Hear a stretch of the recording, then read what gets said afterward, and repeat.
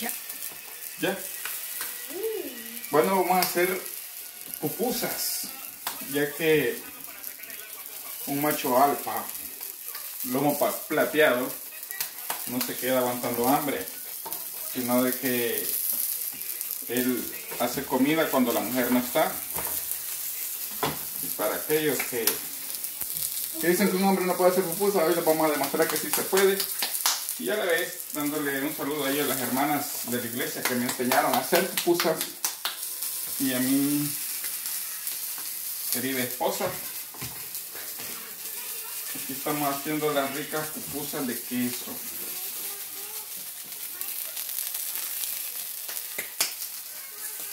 Fácil, rápido y económico. Una pupusa de esta vale 2.25, 2.50 aquí en,